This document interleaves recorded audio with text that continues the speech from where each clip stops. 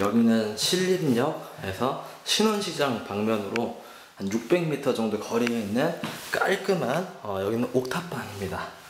옥탑 문의를 주신 손님이 있어서 오늘 옥탑 위주로 방을 돌았는데 아, 마지막 집이 될 것 같네요. 제 다리 근육도 마지막일 것 같네요.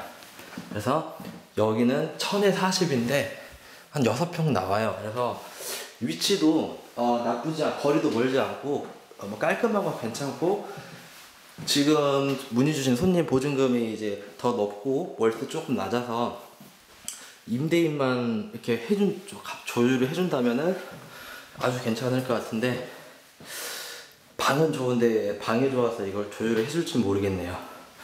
아, 천에 40에 이 정도 넓이면 옥탑이어도 괜찮죠.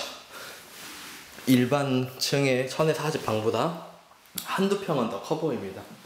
아, 요거는 제가 사는 집보다 크네요. 요 정도면 아주 어, 우수합니다. 괜찮네요.